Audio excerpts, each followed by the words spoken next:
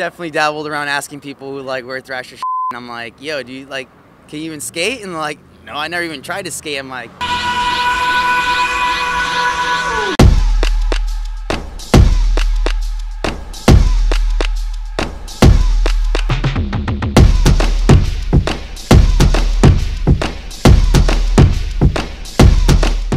Yo, what's going on, everybody? Andrew Fung from the Fung Bros here, and welcome to another episode of Fung Bros on the Street. As you guys may know, there are two main centers of streetwear and fashion. It is New York City and Los Angeles, and today I'm on Fairfax Ave in LA. Today I'm gonna be going from Fairfax, which is known for its streetwear, to Rodeo, known for its luxury brands. In recent years, a lot of streetwear brands have been collaborating with high-end luxury brands, and their fashion worlds have been merging. I'm gonna be asking people about what they're wearing, if you gotta know your streetwear history in order to wear it, and I'm gonna be quizzing people on their knowledge of the hypest brands to see if people really know what they're talking about. So a lot of people think that you have to know about streetwear brands in order to wear it and be true to the culture, or since it's just fashion and you got the money to buy it, you can just wear it and it doesn't matter. I'm here to ask two different markets of people from Fairfax to Rodeo and see what they think. Big shout out to StockX for sponsoring this video. It is the easiest way to buy and sell your brand new hype gear. I mean, it's just overall a useful tool in general and it's free, so check it out if you guys have not heard about it.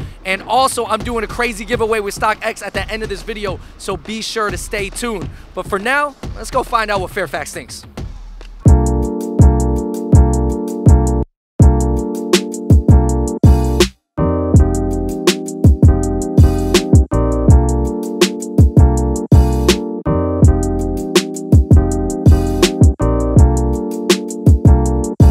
Can you describe your outfit real quick, what you're wearing, and like how much each piece might cost? Off-white Prestos, maybe like seven, eight hundred. The jeans are maybe like 300 bucks. T-shirt right now, Nas T, Supreme 350. A couple rings, Chrome Hearts, Gucci rings, three, four, five hundred a piece. What about the bracelets? Maybe like a thousand.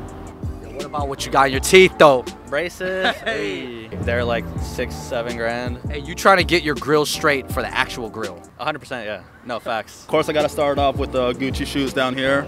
You know, it cost me a check. Uh, got the H&M pants, like $60 Guess shirt right here, gold watch, vintage ring, The grill. and the, and the grill. How much that grill cost? Pretty expensive. the EXO Bape collab. I just bought this two seconds ago from the Bape store. Yeezys, I just bought these two days ago, I think. Yeah. What you got in the bag? I got some Bape, and I got a hoodie and a bag from Supreme. How much did you drop today? You can do it in Norwegian dollars. Uh, kroners maybe, like about $550 to spend today to wear hoodies like this one. I bought it on Adidas and Nike store. It cost about $50 I think, and this one is $60 in Norway. Do you guys ever use StockX, the app? yeah, mean- check it out sometimes, just to see the prices. and stuff. I just have the tag. Yo, he still got the verified tag on. yeah, That's, did you wash it with that? Yeah. Because kids won't clown me like, oh, that's fake. Nah, bro, it's not fake. I, got the, I got the tag on it. Do you think people have a responsibility to know about the brands that they're wearing, like know the history and some facts and stuff like that? Or is it just fashion and they can do whatever they want? For sure, they should know where it's coming from and like the meaning behind it. I don't think you have to have a responsibility, but like if you're gonna spend $500 on a t-shirt, you should know why you're paying that much money for it. try to know the culture of it. To an extent, they should know a little bit about it. You should know like quite a bit. You can't just like buy it and then wear it and then try and like fit in. Like really into it, you should know like the history about it. You should want to represent like whatever brand you're wearing. You do you, like style what you want, and if you can afford it, then go ahead. Personally, I want to know about what I'm buying, but for them, they're just trying to show like it's like a status symbol at the end of the day. I know what I'm wearing, so I do me at the same time. You know what I mean? You have your international ballers who just come here and spend hella money. So they don't care about the price. They'll buy it if they like it. Do they have to know about the history? Not really. Here they don't. They don't care. I think fashion's fun. It's your style and whatever you want to wear, and I don't think anyone should have a say in that. You know, it's just fashion, man. That's all I can say. Some people can't afford it, and they still try to get it. You know what I'm saying? Just because you try to stay up with the fashion, man. People shouldn't shouldn't press you too much on it, but at the same time, if you decked out head to toe with a hat to the sock to the shoe, give me a streak, give me a name, man. Like I skate, and I've been wearing like skatewear for like the longest time, and now it's like a sort of a fashion. Whatever you wear, I feel like you should know at least something about it. Then like if you get called out on it, then you just look dumb, and you're just literally that's how you expose what people are doing for the hype. Oh. Definitely dabbled around asking people who like wear Thrasher, and I'm like, yo, do you like? Can you even skate? And like, no, I never even tried to skate. I'm like, it's for the hype, and it's just like that's the disturbing part. This is a group quiz. I, I think between you guys, you guys are gonna win this. Who is Jerry Lorenzo? I don't know. I don't know. I don't know. Met Jerry, really short. I thought he was taller. Fear God guy. Fear of God, creator and director. Creator for Fear God. Creator, fear God. What do they call runners in England? Uh, spoiler. Wait, you you were in England? I was in England. You were in England? well, not. I can't remember. Any trainers? Trainers? Trainers. Where does the brand Vans come from? Who did LV recently hire as their men's artistic director? Uh, Abloh. Virgil Abloh. I'm sorry. Oh, does anybody ever say you look like Safari? I'm from Cameroon. Joel Embiid. Yes. It's bonus points. Do you know who the, his predecessor was, the guy before? Kim Jones. What day of the week does Supreme drop? Thursday. Thursday. Thursday? Do you guys know the designer's name of the famous Jordan 11? No. Who designed the Air Jordan 11? Michael Jordan. Tinker Hatfield. Tinker? Who started Bape? Honestly, I don't know.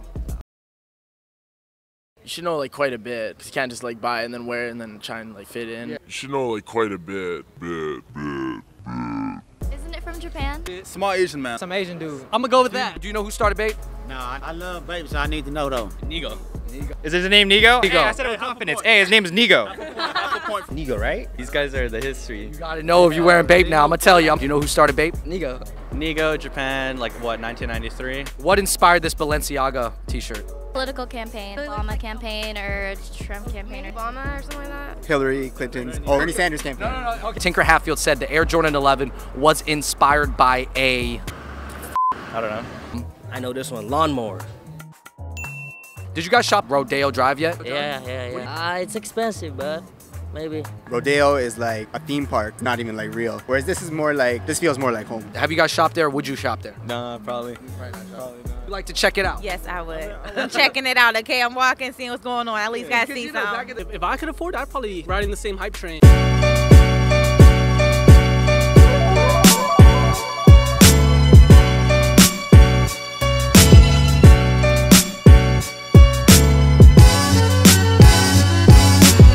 I, I caught you guys out on Rodeo Drive. This is like luxury brand central. I feel like I'm in, I got transported into a different world slash tax bracket.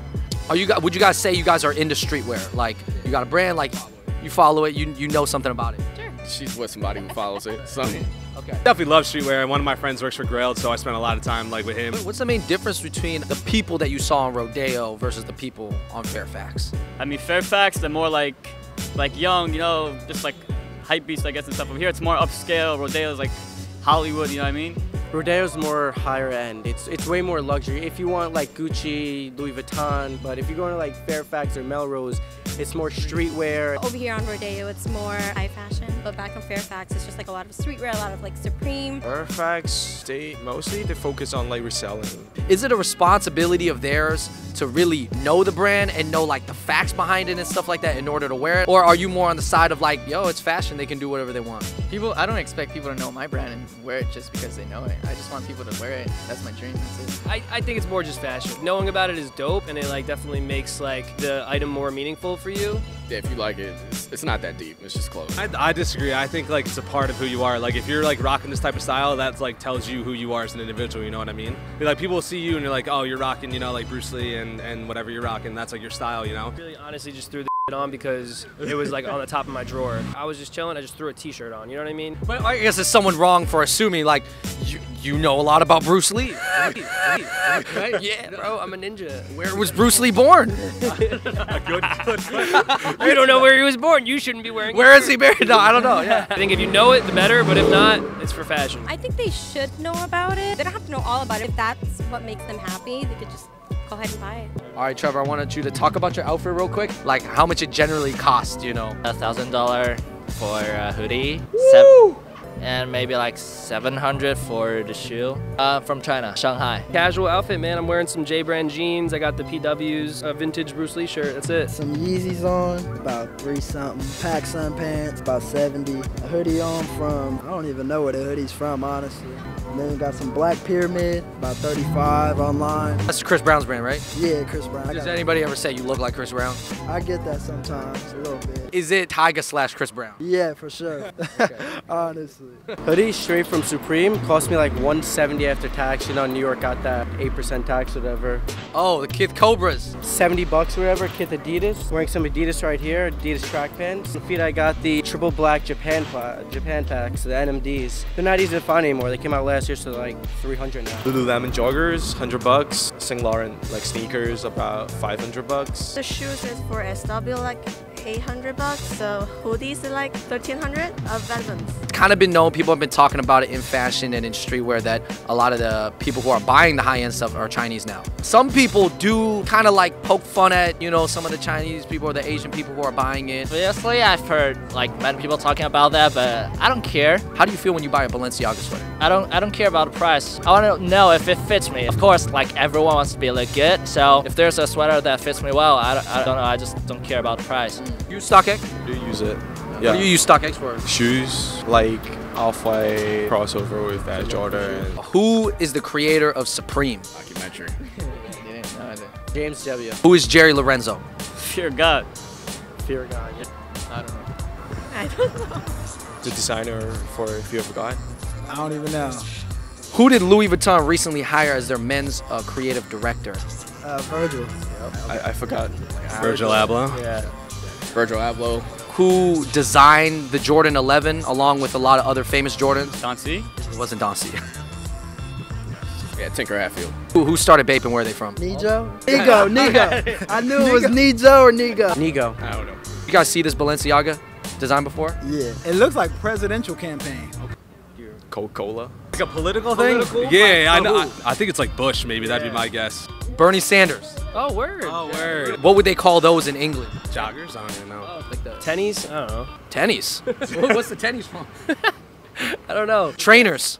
Yo, everybody, thank you so much for watching that episode of Fung Bros on the Street. Talk to so many people, and here are my major takeaways. You know, when it comes to being knowledgeable about the brands that you're wearing, most people said that at the end of the day, it's fashion, so you can wear what you want to wear, but you should know about the pieces that you specifically have on and the ones that you bought. However, there definitely were some traditional people who were not happy about how little knowledge people had about certain brands. This after quizzing people out on Fairfax and Rodeo, I can tell you that the people buying streetwear right now do not know everything about streetwear. And point number two, so traditionally, streetwear does seem like one of these cultures that you kind of had to know the history. Based on the responses I got, the people buying streetwear did not know a lot of the basic facts. So I would definitely say, guys, if you're gonna spend about $500 on a sweater, you probably want to know the history of that company. And point number three, a lot of the people that I met on Fairfax, they actually do not go to Rodeo Drive at all. But I would say a lot of the people that I ended up meeting out on Rodeo have been to Fairfax. Either way, the culture is pretty different. But definitely out in Rodeo, man, it feels like I'm in a whole nother planet, like like Asgard or some other palace. This is a different world, okay? And lastly, big shout out to StockX for sponsoring this video. Without them, this couldn't have happened. So please check down below for the instructions to a crazy giveaway through StockX. I'm gonna leave the instructions right there in the description down below. Definitely check it out if you guys have not used StockX before. It's free. Check out the app. It's a website. It's a great tool. Market prices for streetwear, for hype gear, buying and selling brand new stuff. It's all verified. So definitely check out StockX if you get the chance. All right, everybody, and this is for you. Do you need to know about the culture, the history, the founders, the people who started it in order to wear streetwear authentically? Or is it just fashion? You guys let me know in the comments down below. I want to hear your thoughts. Thank you so much for watching that video. I hope you guys enjoyed this. Subscribe to my channel, give it a thumbs up. And until next time, everybody, I'm out. Peace. I mean, you look at people like Kanye West. Years ago, people would be like, yo, you, you looking crazy. He was wearing the skirt, this kilt. And then Justin Bieber jumped on that. 2020 is right around the corner. We all about to wear kilts. Kilts on Fairfax, coming soon.